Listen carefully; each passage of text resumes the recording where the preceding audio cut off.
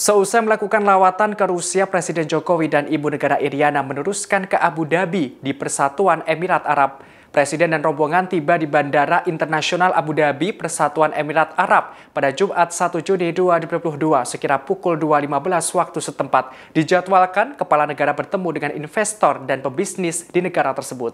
Dilansir dari laman resmi Presiden Republik Indonesia, kunjungan Presiden kali ini menuju ke Timur Tengah. Lawatannya ini dilakukan setelah membawa misi damai dan kemanusiaan di Ukraina dan Rusia. Saat tiba di Abu Dhabi, Kepala Negara dan Ibu Negara disambut langsung oleh Menteri Energi dan Infrastruktur Persatuan Emirat Arab, Suhail Muhammad Al-Mazruiz. Turut hadir pula dalam penyambutan itu Duta Besar Republik Indonesia untuk Persatuan Emirat Arab Husin Bagis beserta istri, Duta Besar Persatuan Emirat Arab untuk Indonesia Abdullah Al-Daheri, Menteri Pertahanan Prabowo Subianto dan Atase Pertahanan di KBRI Riyadh, Brigjen TNI Putut Wicaksono Hadi beserta istri. Dalam kunjungan Presiden kali ini ada sejumlah agenda yang dilaksanakan. Presiden Jokowi mengawali pada Jumat pagi dengan bertemu dengan pebisnis dan investor Persatuan Emirat Arab. Selanjutnya Presiden Jokowi bertemu Presiden Persatuan Emirat Arab Sheikh Muhammad bin Zayed bin Sultan Al Nahyan pada siang harinya. Kedua kepala negara itu dijadwalkan akan menunaikan ibadah sholat Jumat bersama. Setelah ibadah sholat Jumat, keduanya akan menggelar pertemuan bilateral. Presiden Jokowi dan Ibu Iriana beserta rombongan dijadwalkan akan kembali ke Indonesia pada sore nanti.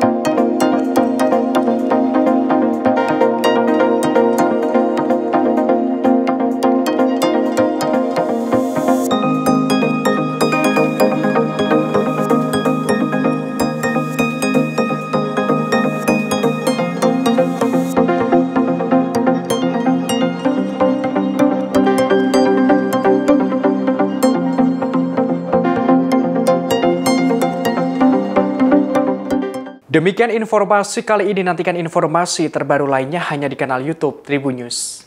Terima kasih sudah nonton. Jangan lupa like, subscribe, dan share ya.